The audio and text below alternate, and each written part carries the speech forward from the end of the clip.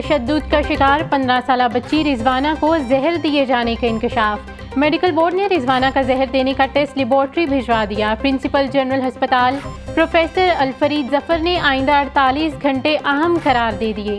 कहते हैं, रिजवाना के फेफड़ों में इन्फेक्शन और खून के क्लॉट्स थे। रिजवाना सेप्सियस की बीमारी में मुब्तला हो चुकी, जिसकी वजह से इन्फेक्शन पूरे जिस्म को मुतासर कर रहा है।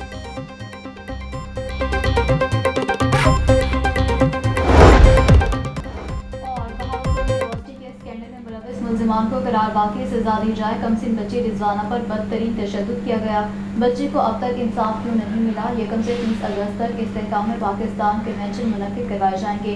ओ आई सी के प्लेटफॉर्म से कुरान की बेहरमती के खिलाफ भरपूर मजम्मत होनी चाहिए। चेयरमैन पाकिस्तान उमा काउंसिल अलामा ताहिर महमूद अशरफी की प्रेस कॉन्फ्रेंस